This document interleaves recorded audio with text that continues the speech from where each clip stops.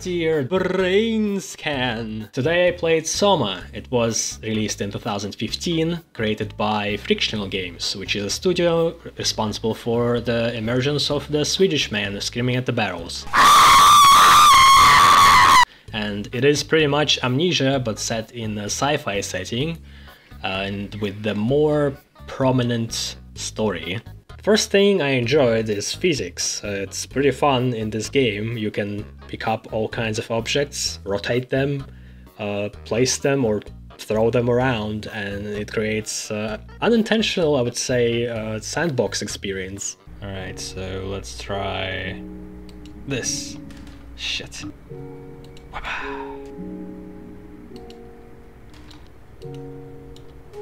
Uh, let's try this.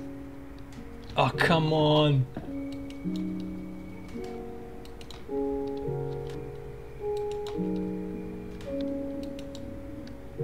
Oh, come on.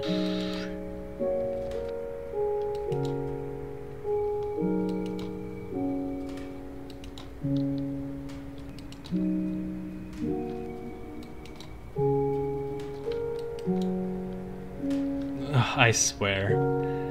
Alright, I'll, I'll take the loss.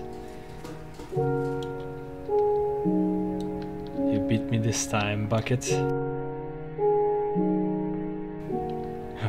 Another thing that I liked would be the plot. Um, it kept me engaged, it uh, kept revealing new things about the story over its course and uh, changing it a bit, or rather changing your perspective on the things that transpire. There are some things I wanted to go over in the very beginning. Uh, we are having a brain damage as Simon, and he decides to go for experimental treatment where two scientists uh, scan his brain and uh, test this brain scan for all kinds of stuff, uh, provided examples being uh, overdosing it with painkillers or uh, making it to run marathon.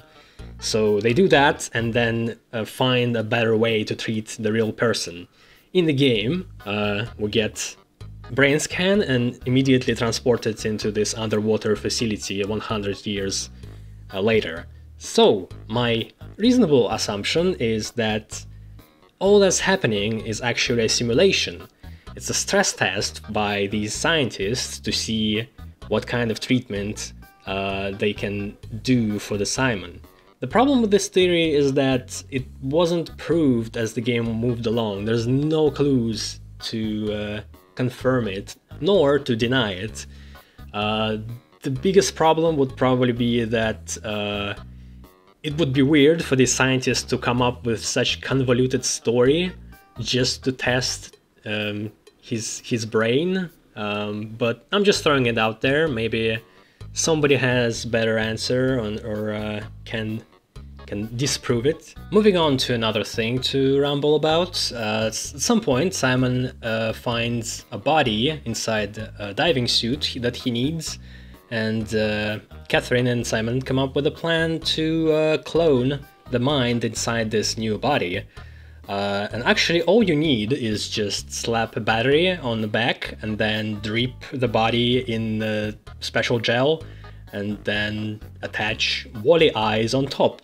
And that's about it.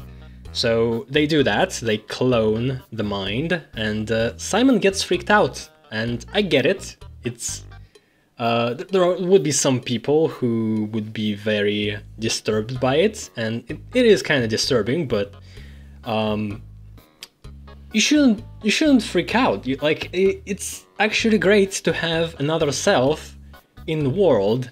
Uh, if I were get cloned, I would be uh, just delighted.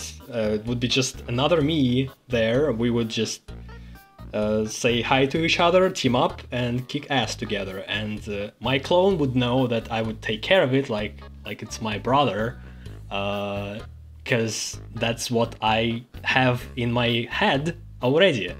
But on the other hand, if uh, some person is wired differently and they think that there's only can be one uh, of them, then each of his clone would try to kill another, and that would be a problem. All I'm saying, it would be beneficial to just embrace this new technology and uh, reap the benefits of it. Which brings us to the ARK project. Uh, the meteor struck the Earth and presumably destroyed all the humanity. The last surviving humans are in this uh, underwater power plant uh, slash science facility and they come up with a plan to uh, uh, having the technology of copying the minds, uh, copy them inside a virtual reality, then put that inside the pod and launch it into space, so it could float there for ten thousands of years. The only question is, why? And this is our main goal as the character to do exactly that. Uh, they treat it as we are saving the day when we're really not. Like, what are they hoping to accomplish? Like, do they hope that the aliens will come in like thousands of years and figure out this technology and save them? Probably not. So they'll just float there forever in this matrix, uh, doing nothing really. And maybe they can hack into this uh, satellite and then they'll have the ability to maybe crash it on Earth and die. And that's about it. They, they're just floating in the vacuum around the orbit. And it might be intentional to just show how desperate these people are. The only problem is that we already knew that there is a technology where you can put it inside the body of a robot and it works. So why won't they do that instead? Why don't they just take and create more bodies than take these copies of other people's minds and put these minds inside the new bodies. Then you can just restore the humanity this way, or at least try to do so.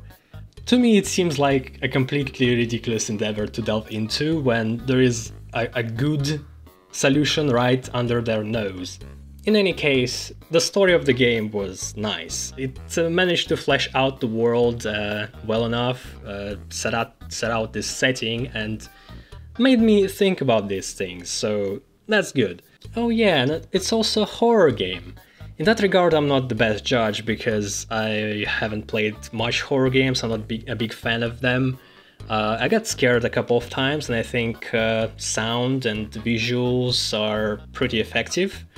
Um, though I have a problem with believability because uh, a lot of the time I kind of just see through their AI and I'm thinking of the game as it is a game and not as if I'm inside uh, that version of reality, if that makes sense. So, for example, there was a moment uh, where uh, was a ghoul that uh, been walking around and trying to like get you uh, and you can kite them inside the room and then lock the room with the with the computer so I did that it felt good so that I figured it out um, but then it just teleports out of it immediately um, an intention is that it uses the ventilation system judging by the sound, but it, it really just teleports and it's fucking frustrating and it's not scary at all. I, I'm just was annoyed the whole time. Gameplay wise, it was straight up on the rails. Uh, I tend to stray away from the main path and um, just explore things. And uh, I was like a crazy hobo man, opening every drawer and every latrine, but haven't found a single secret or any kind of joke or interesting thing, nothing. It was very unrewarding. Um, the parts of underwater are pretty boring. It's the worst. It's just a tube of invisible walls and you have to just walk through it. Maybe there is some enemy you need to avoid and that's that's about it. There is a lot of audio logs and journals and text on the computers. I read through most of it and it's pretty boring. It's very outdated way of telling the story even for 2015. I would rather not have it at all like Dark Souls does it or have it in a very minimalistic way so the player would want to uh, find out what's going on. The puzzles are pretty easy, um, though I do like that uh, they don't have much guidance. Uh, you can get stuck uh, not knowing what to do, but I do prefer that over the hand holding. Visually the game looks nice. Uh, when you walk through the underwater parts you can see distant lights or big shapes of the structures and you can't quite see them because they are blurred out because of the way how the vision works underwater and it gets more of a sense of uneasiness and definitely works for the horror elements of it. some some other guy wakes up and starts exploring and then comes to this place. Holy shit! And that would be all for the Soma. Uh, it's definitely story-driven game. It's not a masterpiece as uh, one of my friends claimed it to be, um, but at the same time, quite enjoyable, above average. Uh, I liked that I played it. It took me 14 hours to complete, and I give it 65 out of 100.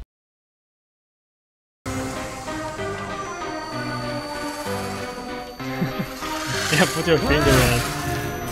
What was that?